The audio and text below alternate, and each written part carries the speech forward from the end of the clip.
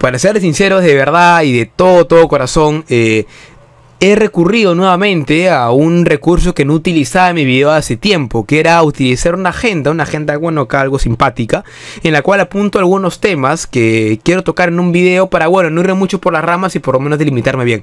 En este caso lo voy a utilizar para poder controlar una lluvia grande de ideas que tengo en mi cabeza. Y no solo va por lo que ha sido este robo a mano en el estadio campeón del 36, gestado por eh, el, árbitro Meléndez, ¿ya? Eh, sino va mucho más. Eh, por lo que ha hecho en la hoy día. Porque pasa mucho por lo que es la responsabilidad de los jugadores, que en el partido también han hecho lo que se podría decir un bodrio. Pasa mucho por lo que es la responsabilidad del árbitro que arbitró pésimamente el partido, sino que también se basa demasiado en todo lo que es el tema de los jugadores.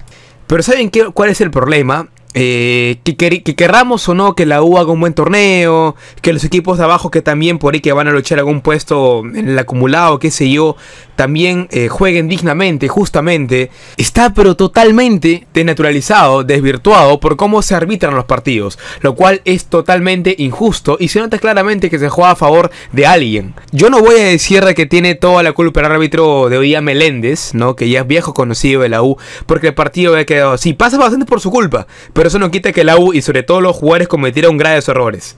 Pero lo que se ha dado hoy día ha sido un robo a mano armada desde que arrancó todo el partido. Un partido que la U tenía mínimo la obligación de tener que ganarlo por un tema acumulado, por seguir ahí luchando en la apertura, aferrarse a alguna chance mínima. Pero es así como todo se caga, no, no, no por el gol de Larios, que bueno, es un tema aparte sino por cómo empiezan a arbitrar el partido. La falta que le mete Perleche Ureña, Dios mío, ¿eso en qué mundo puede ser amarilla? O sea, el árbitro lo ve en primera instancia y se da cuenta, no sabes qué, solo amarilla y punto final. Es ahí cuando el reclamo de la U, de los jugadores, que viene Carvalho, que también entra el, juez de línea, lo hace cambiar de opinión que recién va a ser roja. Una jugada que de acá a la China era amarilla. Ok, está bien, la, roja y todo lo que tú quieras. ¿En qué mundo? O sea, yo pregunto, ¿ah? ¿en qué mundo puede ser roja el aplauso de Cabanillas. ¿Saben qué? Después, saliendo el tema de Cabanillas, que quizás después lo retomamos, la, de Corso no lo voy a discutir, porque para mí sí es roja. Lo de Corso es estúpido. Eh, eh, el, capitán de barro que ha tenido el U durante temporadas, que está bien que ha mejorado nivel y todo, pero eso no le da derecho para ser una burrada en pleno partido así. La U tenía un partido de 11 contra 10, que ya, bueno, se complicó por lo de Cabanillas, y aún así, aún tenía la U todo para poder darle vuelta. Teníamos de todo. Vi una expulsión tonta a un jugador que se podría decir que es importante, lamentablemente, pero es importante el curso para la U. Se produce un partido más complicado de lo que en realidad podría haber sido. Y después de eso viene el empate de Cal, que bueno, todo muy bien, la U reaccionó. Apuesta con Chuntala ya, la casa de apuestas deportiva online con la que siempre ganarás. Ingresa a chuntalaya.com, regístrate y participa. Con mi código TEMI puedes duplicar el 100% de tu depósito. Además, como beneficio extra, puedes solicitar en dos recargas que hagas un 10% de tu adicional como dinero real para que sigas apostando y ganando. Recuerda que es un juego para mayores de 18 años y si apuestas hazlo con responsabilidad. Chúntala ya, juega y gana ya. Nos metimos a la pelea, ya se había cocinado demasiado todo el tema con el árbitro para que después, Dios mío, esa falta sobre Bolívar, ¿cómo no puede ser falta? O sea, ¿en qué planeta eso no es falta si es el primero en llegar a la pelota? Y después de eso viene el gol de Suyana. Está bien. ¿Saben qué es lo peor? Lo peor no es que Manzaneda, un jugador que lleva de una temporada hace 6-7 años, eh, se haga oídos sordos, no haciendo gestos a la hinchada, buscando una versión de un buen futbolista que nunca tuvo y que no creo que vuelva a tener. El problema está en la reacción de Carvalho. O sea, el de la selección, que es cierto que estaba jugando bien antes, que, mostraba garantía, seguridad y todo lo que ustedes quieran. Este tipo de bloopers en partidos que son puntuales para la U, lo sigue cometiendo. O sea, la jugada, la patada que mete Manzanea a la pelota es una jugada demasiado atajable. Y el gol que le meten es realmente absurdo y ridículo. Y por eso digo de que la U ha perdido el partido hoy día, no solo por el robo que hizo Meléndez, pasa mucho por eso, porque tiene mucho que ver con el tema de los jugadores. A Riveros, sí, a, jerarquía, que, bueno, está bien. Es alguien que ha jugado muy bien, eh, ha demostrado mucho, mucha talla, ¿no? En, la Liga 1, en la Sudamericana. En este partido, mamita linda, lo que ha jugado Riveros hoy día. No lo voy a matar tanto porque tengo que entender que todos podemos tener un partido malo. Bueno, dos, contándole a Tarapoto y bueno, qué sé yo. Pero Riveros, el partido hoy día también pasa mucho por eso. No es la excusa de que no estaba Corso, que el sistema no funcionó, no No. En un partido así no, no, te pueden llevar tan sencillo cuando vienes en un nivel demasiado alto. La U tontamente gracias a Carvalho y también gracias, muchas gracias al, al error del árbitro, se comete justamente eso. El partido se viene para abajo, la U demostró garra, pero ¿saben qué es lo peor? Y también por eso digo, pasa mucho el, tema del desastre hoy día por los jugadores. La falta que comete Ureña es realmente estúpida. Es estúpida, es absurda, no es propio de un jugador que venía jugando demasiado bien, siendo uno de los mejores extranjeros de toda la Liga 1, que tenía un nivelazo en la U y que la confianza siempre estuvo depositada en él. Es un Ureña que realmente se ha no sé, es una, es una reacción de animal, es una reacción infantil, no es la reacción de un jugador que ha demostrado categoría en la U, que ha estado bien en el fútbol sudamericano. No, no es así. Que venga jugando bien, que se crea el chileno, que lo igualen con Gary Medel. Ay, me dé mis huevos. No, no, no, no, no. Eso no le da ningún derecho para poder nuevamente hacer una tontería así que expone más uno un partido que ya estaba complicado. Un partido que no se jugaba de 10 contra 11, jugaba de 12 contra 10 y que arrancó 12 contra 11. No se puede jugar así y no puede dejarlo nuevamente mal, desprotegido. La de Corso y la de Ureña son rojas. Son demasiado fácticas, son rojas, no hay nada que discutir ahí. En lo que sí es muy discutible es en la pésima reacción del árbitro en lo que fue la amarilla a Perleche, que no debería haber sido amarilla. Después en, la de Cabanillas, que no es roja. Después en la falta Bolívar, que nos costó un gol. También gracias a Carvalho, pero nos costó un gol. ¿No? Y por un manejo de partido terrible. Terrible. No solo por las rojas y por esto y lo otro, sino porque después de todo el escándalo, espectáculo que armó, perjudicando directamente a la U. Después de ello, también obró mal a favor de Suyana, a favor de la U. Habían tarjetas amarillas que debían haber sido para jugadores de la U y simplemente no la sacó. ¿Por qué? Porque sabía que el partido, que él mismo ya lo había desneutralizado, por no decir otras palabras, porque ya miría por los sueces y bueno, saben como YouTube. Lo único que fue era un intentar calmar un partido que ya lo había perdido. Y creo que te habla del pésimo arbitraje que este árbitro nuevamente le hace a la U. Y quiero dar dos cortitas que se me pasan por poco. ¿Se acuerdan el año pasado cuando luego en el clásico el Matute por 2-0? Cuando Zúcar mete el penal, eh, cuando celebra, hace el gesto, ni Cabellito Hurtado se pone a gritar, a llorar, que cómo es posible que estén aquí esto, afectando mi hogar, a la hinchada, ¿no? Con ese gesto. Y bueno, el árbitro que expulsa a Zúcar por dicho gesto fue Meléndez, el mismo árbitro que hoy día arbitró el partido y que en su cara y a muy pocos metros, siendo un gesto mucho más directo y sobre todo más prolongado, no expulsó Manzaneda después de haber ido a decirle cosas y hacerle geos a la hinchada de la U. ¿Por qué ahí sí no expulsas?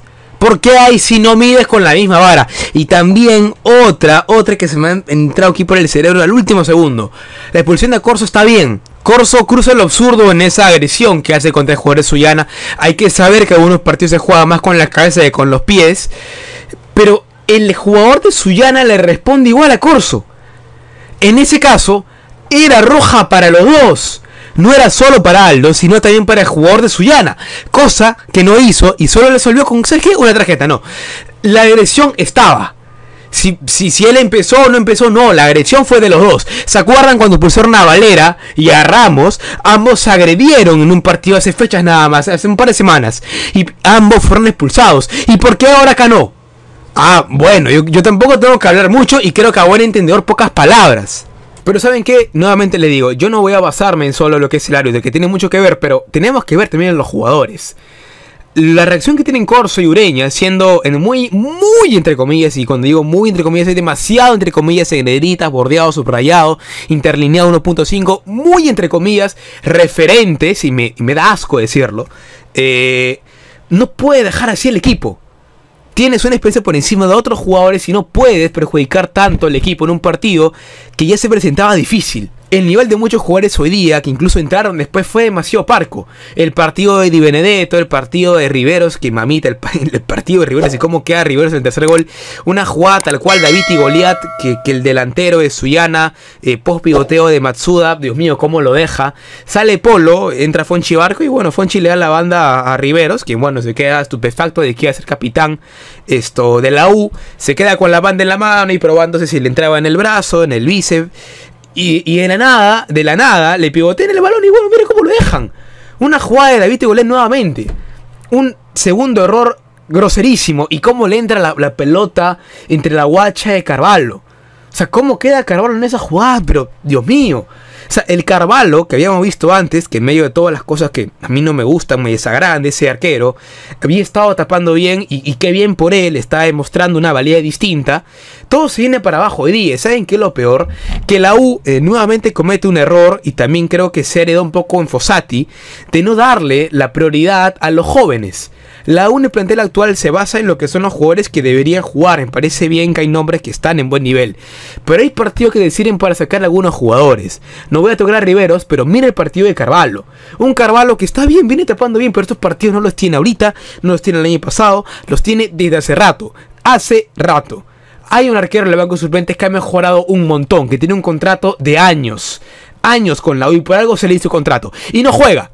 Y prefiero que la caiga, así como lo hizo Carvalho hoy día, y lo hace hace rato, a que le esté cargando el mismo viejo que el, siguiente año posiblemente se vaya. Porque en la U, por partidos como este y por edad, no puede dar más. Prefiero que él se equivoque y que vaya aprendiendo, que seguramente que no lo va a hacer. Porque cuando Romero ha estado tapando el U recientemente, no se ha equivocado tanto. Al menos no tanto como lo hacía antes. En fin, se acabó el partido, eh, no había nada que hacer, incluso le habían expulsado un jugador a, Suyana eh, previo al tercer gol, una expulsión que también, bueno, no sé, ni me interesé en ver, en ver si está bien o mal la expulsión del jugador de Suyana. Yo creo que ya a esta altura del partido, si está bien o mal expulsado, la verdad es que no iba a caer una convicción concepción, perdón, acerca de cómo este árbitro eh, llevó pésimamente las cosas a lo largo de todo el partido. así que bueno, gente, como les digo, yo no puedo entrar eh, en la discusión eh, o, ponerme a, debatir con el chivolo de Twitter que abre su cuenta urrutismo, eh, corsismo, no, no, sé, valerismo, discípulo de, de Fossati, qué sé yo a la gente se le metió demasiado la idea de que la U tenía con qué ganar una apertura. Y no había por ningún lado cómo hacerlo. Porque habían partidos como estos ante rivales como estos que se tenían que ganar. Un Suyana que no ganaba hace 7 partidos. Suyana, el equipo que ya no metió 3 pepas, no ganaba de 7 partidos. Independientemente si Meléndez le inclinó la, cancha para ellos, nos metieron 3 pepas. Y nos ganaron en un partido que teníamos de todo para poder ganarlo. No es solo culpa de ese bodrio de árbitro, que tiene mucho, pero demasiado que ver pasa mucho por los jugadores. Y Fossati hoy día lamentablemente se equivoca. También se equivocó. Y está bien, hay que decirlo. Bueno, ya está. Se acabó eh, este mundo de fantasías, de ilusión, que, que es muy lindo. Fue, fue muy, muy lindo. Eh, para la gente que se lo comió, que la U tenía con qué luchar eh, la apertura contra las matemáticas y contra lo que estaba determinado por un nivel futbolístico, por un nivel de rodaje que nos ofrecía el rival que estaba arriba. Pero también se tiene que decir, sin ningún pelo en la lengua, sin ningún problema, yo no tengo nada en contra de la gente de Alianza, pero no puedo evitar todo lo que pasa, eh, todo lo que siento por cómo se están dando las cosas últimamente. Esto es muy notorio, gente. Salvo Alianza en la temporada actual en cuanto a cómo se le beneficia en muchos partidos, es muy notorio. Está bien, seguramente, y, esto es muy válido, es un argumento demasiado válido, decir cómo vas a decir que se le está beneficiando Alianza, si Alianza depende de sí mismo, si hay 5 puntos de ventaja, ahora van a haber 8, eso no le importa. Esto viene de antes, no viene del partido de hoy día, hoy día es una raya más al Tigre, una raya que va a ser muy notoria y bien marcada en ese Tigre, porque está hecha contra la U. El resto de rayas son ante equipos menores, ante equipos más niños, ante equipos que no tienen, como decía Abreu, equipos más populares, más buena gente, bonachones. Que bueno, se lo va a decir, ¿sabes qué? No pasa nada. No, pero a veces uno tiene que empezar a patear. Y lo que va a hacer la UDI es patear bien fuerte. Porque, sea como sea, es muy notorio. Y yo no voy a hablar de jugadas puntuales, creo que las imágenes van a estar puestas bien claras en el video. Es muy notorio algunos temas son muy notorios, son muy, muy notorios. Y nadie tiene que decir, yo no, yo no voy a eh, agarrar y, quejarme que Alianza me parece más o menos equipo de la U. Por el contrario, Alianza me parece mucho más equipo que la U.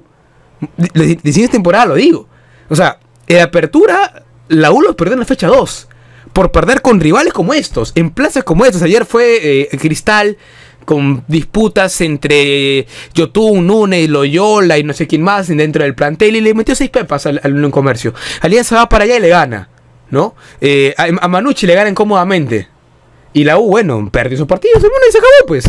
En mano a mano lo ganaron ellos. Y ya está. O sea, por ese lado no hay nada que discutir.